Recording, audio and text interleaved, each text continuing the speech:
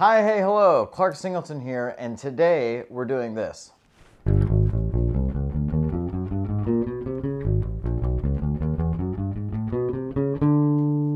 We have come to the heavy lifting portion of the vomit drills, which to me is the most important.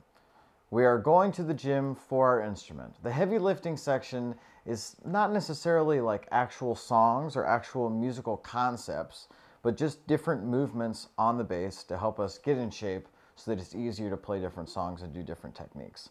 This one is going to be HL number one. So what we're going to do is we're actually going to do a four fret spread, which each finger on a fret, and we're just going to play them in order. And then go up a string, up a string, up a string, and then like most vomit drills, we're gonna go up a half step and do the same thing over again.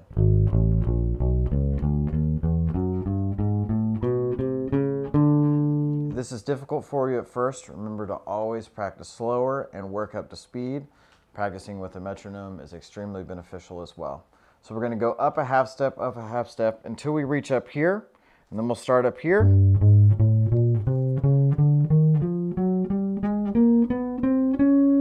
Work our way back down, down a half step.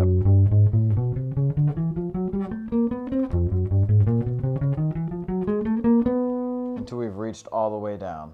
This is really important because we're getting the four fret spread under our fingers.